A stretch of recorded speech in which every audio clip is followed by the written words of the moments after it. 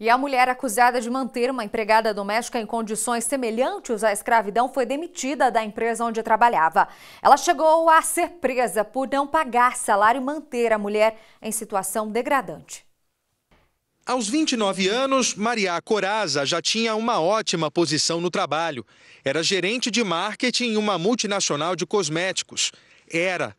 A funcionária foi demitida assim que a empresa ficou sabendo das denúncias que pesam sobre ela. Maria chegou a ser presa, mas foi liberada depois de pagar uma fiança de R$ 2.100.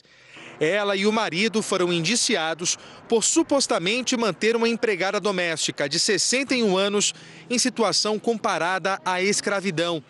A mulher trabalhava para a família havia 20 anos, não tinha salário fixo desde 2011 e dormia em um colchão, no cômodo usado como dispensa, sem banheiro. Trabalhava basicamente em troca de, de alimentação e, e moradia, sendo que nem mesmo a alimentação estava sendo fornecida de forma regular. Depois de resgatada, a idosa foi acolhida temporariamente por um vizinho que mora aqui na rua, a poucos metros da casa onde ela trabalhava.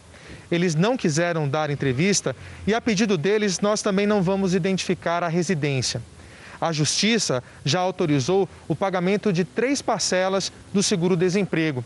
E o Ministério Público entrou com uma ação para que a idosa seja indenizada pelos empregadores. Será ajuizada a ação civil pública, tanto para que ela receba a indenização, que pode chegar até em torno de cerca de 500 mil reais. Também tem postulado o pagamento de uma pensão mensal para ela enquanto durar o processo judicial. Os advogados de Maria Coraza informaram que a família não quer se manifestar.